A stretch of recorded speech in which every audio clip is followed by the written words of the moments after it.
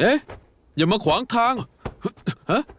อ๋อเออเจ็บเจ็บเจ็บเจ็บเจ็บเจ็บเจ็บเจ็บเจ็บนะเออเออเออเดี๋ยวเดี๋ยวเดี๋ยวอ๋อโอ้ยเจ็บนะอ๋อเออเจ็บเจ็บเจ็บเจ็บเจ็บเจ็บเจ็บอ๋อเฮ้ยเฮ้ยเฮ้ยหือเฮ้ยเฮ้ยอ่ามีอะไร ดูท่าแล้วทำธุระไม่สำเร็จเหรอสำเร็จครึ่งเดียว วันนี้ข้าดีซวยจริง ๆ เลย เจ้าบอกข้ามาตรงๆ เรื่องเรือผ้าไหมล่มในแม่น้ำเฉา มันเกิดขึ้นตอนไหนกันแน่ แล้วมันแพร่ออกไปครั้งแรกตอนไหนกัน สรุปมีใครรู้บ้างกันแน่ เรื่องเพิ่งเกิดขึ้นเมื่อวาน เรื่องไปถึงเมืองหลวงยังไม่ถึงสองชั่วยาม คนที่รู้นอกจากผู้ที่มาส่งข่าวก็คือคุณชาย ข้า เจ้า เตาฉิน แล้วก็คนฝั่งตระกูลซุยเป็นไปไม่ได้หรอก วันก่อนมีคนซื้อไหมดิบจากซุยเวินอี้ แล้วคาดการณ์ว่าไหมดิบชุดนี้จะราคาขึ้น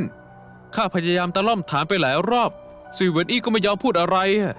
แต่ข้าลองถามที่ทำการสมาคม คนที่ซื้อจากเขาคือแม่นางคนหนึ่งฮะเจะรู้ไหมว่าแม่นางคือคนไหนอะเป็นคนจากจวนชิงหยวนป๋อเห็นว่าเป็นลูกสาวอนุ ชื่อว่าโยฟางอิน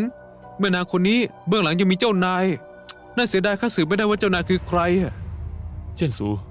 เจ้าให้เตาฉิน ถือโอกาสไปสืบเรื่อง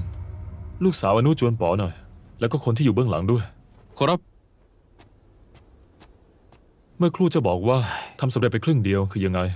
สวี่เหวินอี้คนเนี้ยขายไหมดิบไปแค่สี่ร้อยตำลึงยังเหลืออีกชุด เขาน่ะก็ฉลาดเห็นว่าพื้นเพข้าไม่ได้ไก่กาเลยเอาใจขายไหมดิบที่เหลือให้ข้าโดยอิงราคาตลาดปีก่อน ก็ดี ราคาไหมปีนี้ผันผวน คนเลี้ยงไหมก็ลำบากมาก เจ้ากับข้าทำก็ไม่ได้หวังร่ำรวย ได้เงินน้อยหน่อยก็ไม่เป็นไรใจกว้างจังนะ